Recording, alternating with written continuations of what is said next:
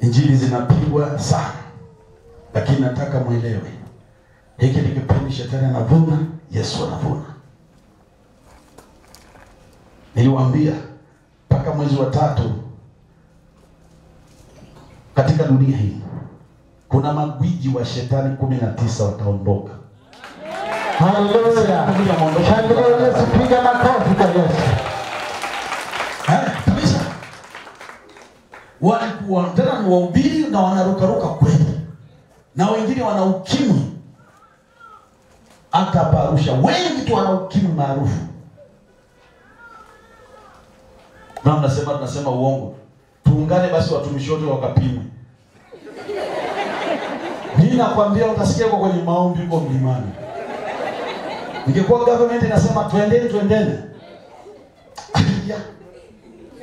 Nyie nyie tambua kisukari kazi kusikizia kisukari tu. Kweli kipo lakini ikapimwe. ametoa wapi ngoma? Alafu wenye ngoma na kucheka njoo nikuombee twende wewe. Haleluya. kila mwenyewe ndo amekupa ngoma. Cheka basi. Kweli mi nakwambia. ngewa kama nchi nyingine wanasema kupima ni lazima.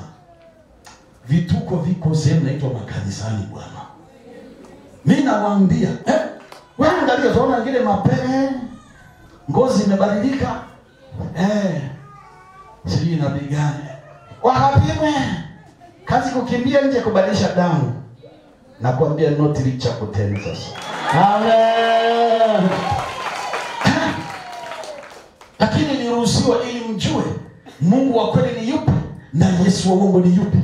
Siku moja nikawa nimekaa, sasa kuna mambo fulani shetani ananishauri nifanye, mimi nakataa.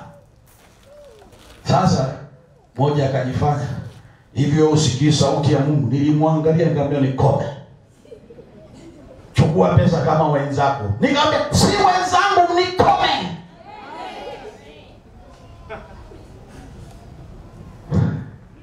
Hebroni anacheza na maisha, hajui pesa huyu. Ninaijua rafiki yangu Haleluya. na ninaipenda, lakini si ya unyang'anyi. Amen. Hata nikivaa shati nimekunyang'anya, inanisaidia nini? Majuto sitaki mwaya, Amen. tabaki na roho ya ukoma. Napanda, utapanda ukoma, utavuna ukoma dabo.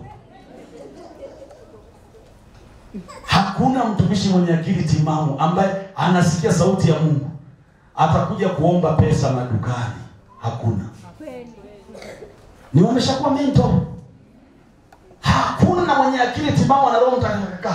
Eh, hivi unajua, nikwambie jambo moja. Mimi Yesu aliponiita alikuwa ananiambia sina mahali pa kukaa. Nilishangaa, maana dunia nzima majengo ya maana, magorofa, mavinanda, ananiambia si yangu. Ananiambia nini? Lakini napenda nikwambie siku baada ya siku, maana bado sijamaliza. Wanamwita, roho ile ya kuchangisha si ya kwake, ni Roho Mtakatifu. Hapana. Roho ya kuchukua benki pesa ni ya Mungu. Hapana. Alafu mnamwita Roho Mtakatifu aingie kwenye ujenzi mwingine. Ah, umenipata? Eh? Si tukaeni hata chini ya mti tunadonda na Yesu.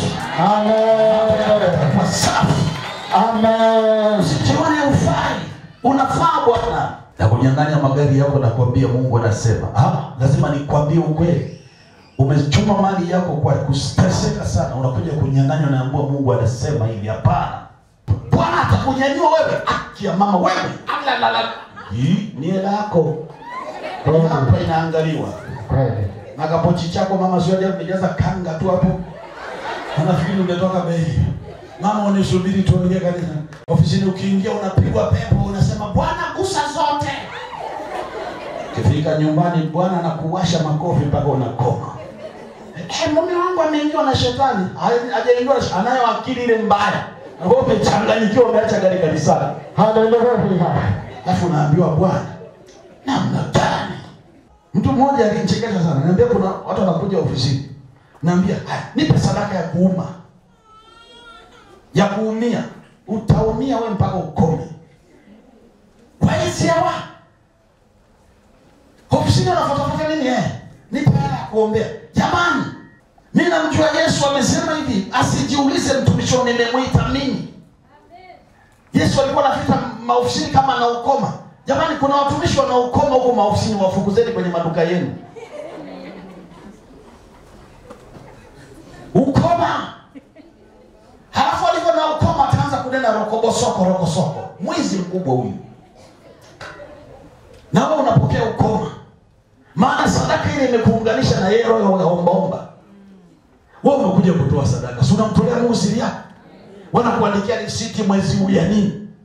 Unafuata na mzee nyumbani eh? Eh, tunakula hela. Ukoma hizo usitoe. Sema amen. Amen. Maziwa nunua shati nunua viatu upendeze. Hallelujah. shamba shamba hakuna. Mi sikuja kuchekesha hapa sio ukisikia tu nabii uone ni mungu. Mapepo ndio yamejaa mpaka kwenye vidole gumba. Nitapambana naye. Na wanajua katika ulimwengu wa roho kwa baba yao wameambiwa wengine wadili na hebron na mimi ninadili nao